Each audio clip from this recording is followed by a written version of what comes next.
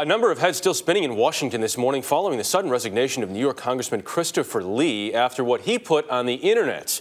More on the fallout from this story from CBS's Whit Johnson this morning. Whit, good morning. Jeff, good morning. Well, the woman who received former Congressman Lee's shirtless pickup attempt isn't pulling any punches. She thinks he resigned because he's hiding some even bigger secrets.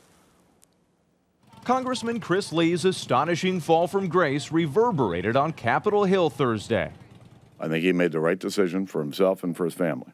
But House Speaker John Boehner refused to address rumors. He warned Lee to stop partying with female lobbyists. Last night, the identity of the woman at the center of the scandal was revealed in the Washington Post to be Aisha Callahan, a single 34 year old African American designer. In an interview with a blogger on a website called The Loop 21, she spoke out about why she decided to post on Craigslist.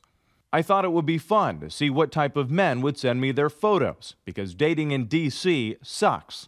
30 men responded, among them second term Congressman Chris Lee in a now infamous shirtless photo. First reaction was holy blank. Second was, he's probably done this before. Third was, he's married. Fourth was, oh my God, he's 46 years old. She waited three weeks before sharing her discovery with Gawker.com, effectively ending the congressman's career. How dumb is he to let himself be in this position? Workers have already removed Lee's name from his Buffalo area office. It's politics, it's power. The former congressman has not been seen in public since last Wednesday.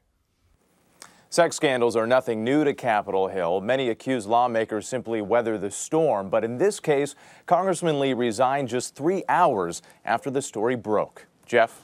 Whit Johnson in Washington with thanks very much.